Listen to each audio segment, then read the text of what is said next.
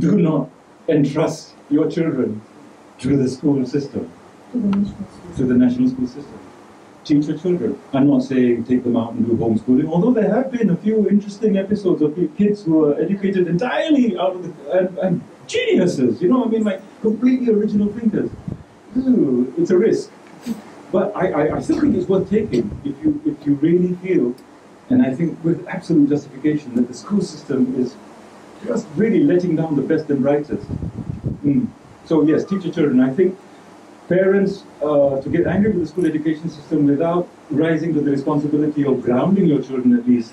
So by the time they actually enter the school system at six or seven years old, they already know the rudiments of learning, how to learn, you know? I don't know, I'm not a, I don't have, I don't have kids, I'm, I'm not a parent, so I can't really speak about this. But, and, I, and for sure I know my contemporaries have raised some beautiful children among them, so it's not impossible to educate your kids.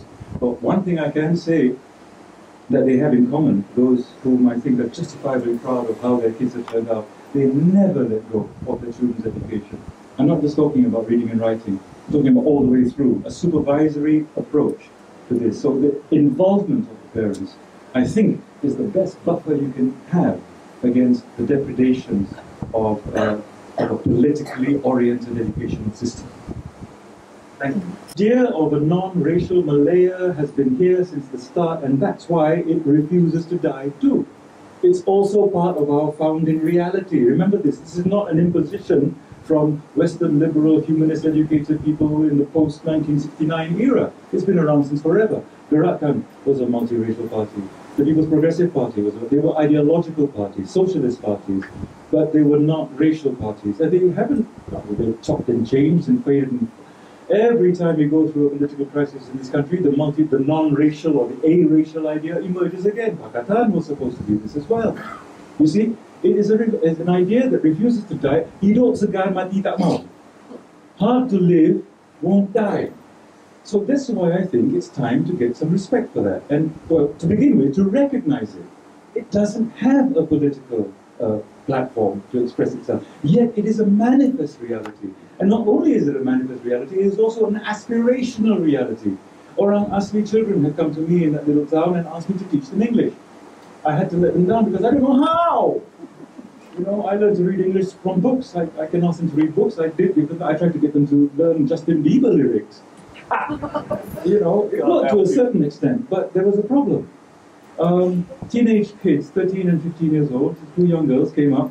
I tried to get them that, but I said, look, the only way for you to pick up English is to use it, and the only way to use it is to have others use it with you. So the two of you, cousins, talk English to each other all the time. Oh, problem. Family got very upset. No, no, no. Rope in your kid brothers. Rope in your siblings. Play games, sing songs, do theatre, watch cartoons, read the subtitles, vie with each other to find new words, you know. But keep bring your family into that process.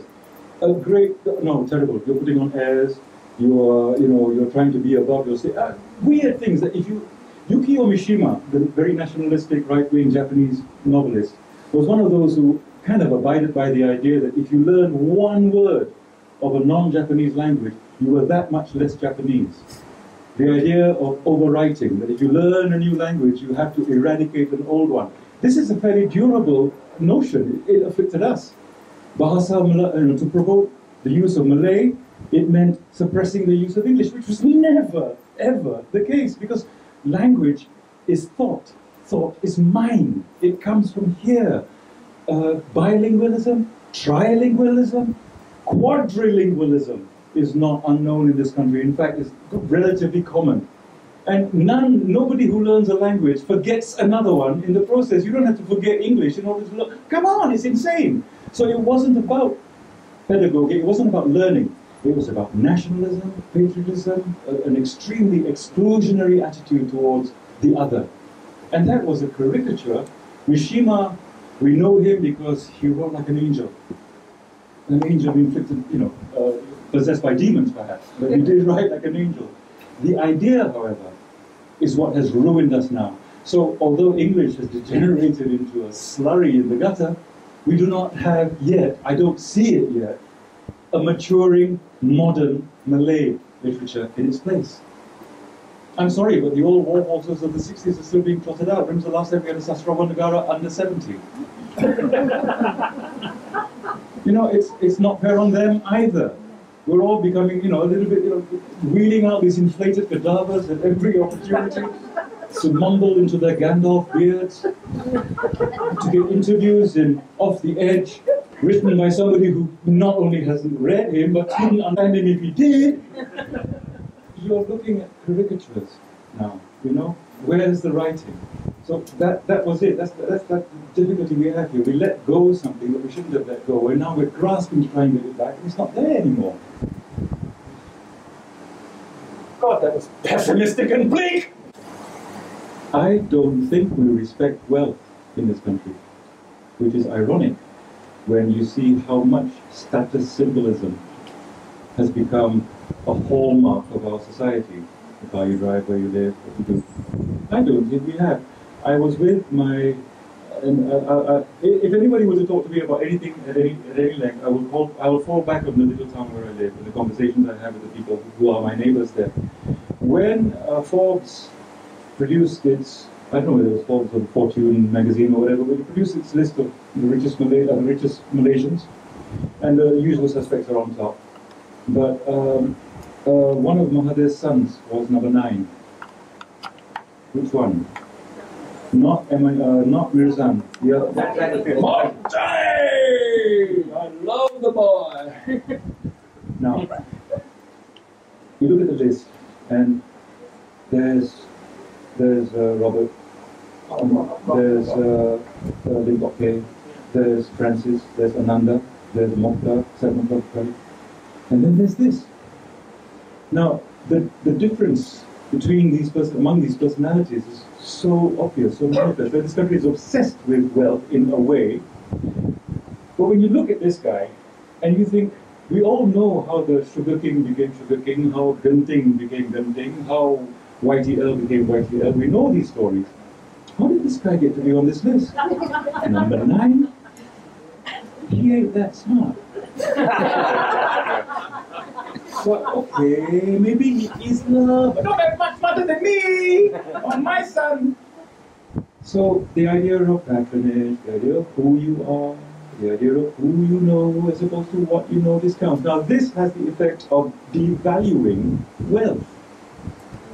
What is prestigious about it? I would only tell you again that I quote my Chinese working class sons of the soil, salt of the earth. We're the sons of the soil, they're the salt of the earth. It's like what is respectable, what we look up to, what we tabe one on your knees, is what it took to become wealthy. That is why Lim Tong is considered what he is.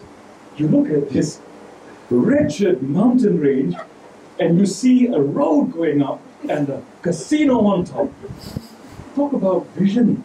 you know? So that is where the prestige comes from.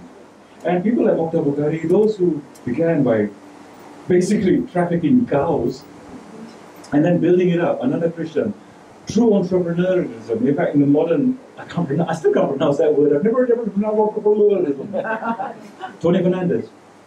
When they emerge and do these things, and then you know that is what wins the respect of the people. When wealth suddenly begins to appear among people like two bit minor junior league 12th choice politicians who only get to become Menteri Besar because numbers 1 through 11 had all been, have all got skeletons rattling around in their closets, several of them still fully dressed.